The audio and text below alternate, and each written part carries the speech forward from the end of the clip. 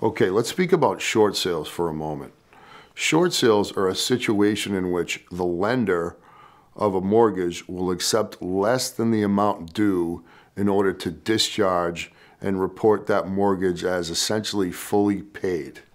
When does this come into play? Well, this comes into play in a downturn in the economy. I am fortunate enough to have been practicing law for multiple years where I've seen good cycles and bad cycles of the economy.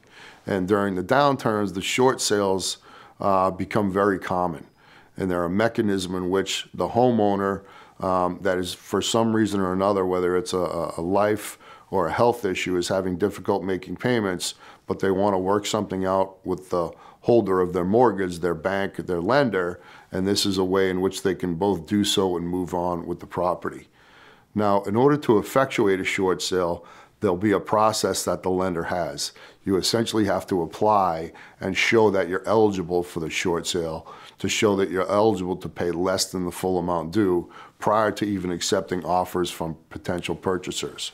Once you go through that process and fill out that form with the bank and they deem you to be eligible for this program, then you know how to price your property.